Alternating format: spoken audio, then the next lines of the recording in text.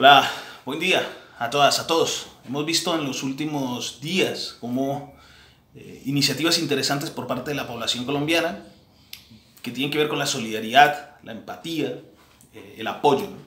Hemos visto el papatón, hemos visto ayudatón, etcétera, etcétera. Hay que decir que esto es positivo porque nos demuestra que la empatía y la solidaridad es algo que aún está presente en la comunidad. Y aquí hay que decir también que los medios de comunicación, los grandes medios de comunicación han ayudado en el sentido de explotar o hacer despertar ese sentimiento de ayuda y de solidaridad, esas redes de apoyo. Y esto es algo positivo, hay que reconocerlo. Algunos medios de comunicación ayudaron para que, por ejemplo, la situación de, los productores de papa, que ha sido una situación de olvido estatal y, y olvido gubernamental, pues estuviera en el centro del debate y así, a partir de eso, se despertaron iniciativas y se crearon iniciativas populares de, solidaridad, repito. Lo mismo también con gente que ha estado abandonada y que ha sufrido ahora eh, por el paso del huracán, de los huracanes y por la ola invernal.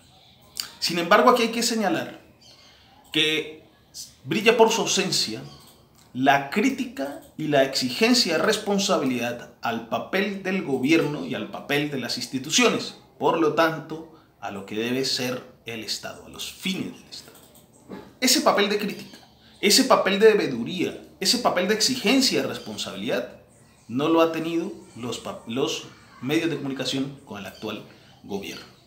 Única y exclusivamente se han concentrado en el tema de despertar la solidaridad, despertar la empatía, y han obviado así la responsabilidad fundamental que tiene el gobierno. El gobierno tiene un sentido, las instituciones tienen un sentido, nos hemos dado un Estado supuestamente social de derecho para algo. Esas instituciones, esos representantes políticos, ese gobierno no lo está cumpliendo. Así hemos visto cómo el presidente se toma una foto y es eso, se toma una foto con una caja, simplemente una cuestión declarativa, una pose. Hemos visto después cómo atrás de cámaras, detrás de cámaras se ha visto que fue, solamente cogió la caja para la foto salir a transmitir como que está trabajando e irse. Bien, así que tenemos que recordar algunas cuestiones de los principios fundamentales que aparecen en nuestra Constitución.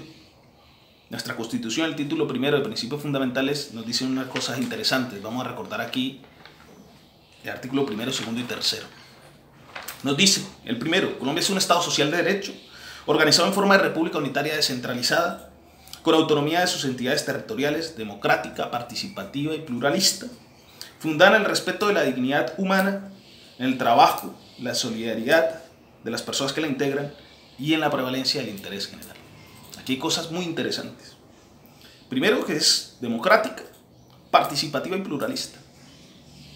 Sin embargo, quienes están ocupando hoy el Ejecutivo, ese partido que copa está en el Ejecutivo, que está en el Legislativo y que intenta copar todas las instituciones, manipularlas y manejarlas a su antojo, precisamente desconociendo la democracia, la participación y el pluralismo. Quiere hacerse con las instituciones para mantener simplemente sus privilegios. Así que se aparta mucho de esa cuestión de la prevalencia del interés general. Por otro lado, cabe preguntarse el tema de dignidad humana, sobre todo en un país con tanta miseria y desigualdad. ¿Cuál dignidad humana en sectores que han estado históricamente excluidos y abandonados por el Estado y por los diferentes gobiernos? El artículo segundo nos dice que son fines del Estado servir a la comunidad, promover la prosperidad general y garantizar la efectividad de los principios, derechos y deberes consagrados en la Constitución, facilitar la participación de todos en las decisiones que los afectan en la vida económica, política, administrativa y cultural de la nación. Defender la independencia nacional, mantener la integridad territorial y asegurar la convivencia pacífica y la vigencia de un orden justo. Podemos también detenernos aquí, porque eso de asegurar una convivencia pacífica no lo hemos visto en el actual gobierno ni los actuales partidos que están en el gobierno. Por el contrario, hemos visto una fuerza política extremista que intenta aumentar la polarización, que ha explotado al máximo un discurso de odio y un discurso violento, que incluso vemos cómo ese discurso, de ese discurso se han hecho caja de resonancia estructuras ilegales para asesinar a líderes y que ahora mismo amenazan a una colectividad política.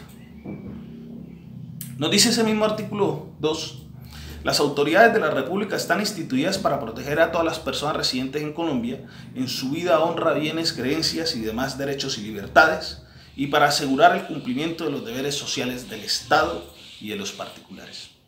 Repito, ese partido que está hoy en el gobierno ha intentado manipular, copar y tener el control absoluto de todas las instituciones para mantener y aumentar sus privilegios como partido. Y aquí aparece el tercer artículo, el tema de la soberanía, y nos dice, la soberanía reside exclusivamente en el pueblo del cual emana el poder público. Esa soberanía, dice, el pueblo la ejerce de forma directa o por medio de sus representantes en los términos que la Constitución establece. Por medio de sus representantes se entiende que es gente por delegada a través del voto. Sin embargo, hemos visto cómo alianzas de partidos con la criminalidad para comprar, en el caso de Ñeñe Hernández, por ejemplo, y no pasa nada. Pero queda una cosa interesante de ese artículo tercero, y es la democracia directa. Esa democracia directa que es en las calles, que es manifestándose, que es haciendo huelga, que es exigiendo. Y aquí quisiera reflexionar sobre un tema que es la autoestima, porque los colombianos tenemos una autoestima bastante grande, ¿no? Nos dice la Real Academia española que la autoestima la valoración generalmente positiva de sí mismo. Y nosotros tenemos una autoestima elevada en comparación con otros países de nuestro entorno, a los cuales nosotros consideramos como atrasados. Nosotros nos vemos como extremadamente modernos y democráticos. Sin embargo, esos otros países nos han dado muestras de salir y ejercer la soberanía, exigirle a sus gobiernos y exigir enderezar las instituciones, cobrar las cuentas de Odebrecht, etcétera, etcétera, etcétera. Nosotros no. Nosotros por el contrario estamos, alguna parte, algunos estamos, están eh, en ese cuento del castrochavismo, en ese cuento del discurso del odio, en ese cuento de la violencia. Nos dice, decía Voltaire, aquellos que pueden hacerte creer en absurdos, pueden hacerte cometer atrocidades. Y eso es lo que hemos visto ahora mismo con las últimas amenazas. Como unos absurdos, como el castrochavismo, han llegado a que algunos violentos, locos, intenten hacer atrocidades. Sin embargo, sin embargo, estoy convencido que más pronto que tarde lograremos hacer de Colombia una república democrática. ¿Es esto? Fuerte abrazo a todas, a todos.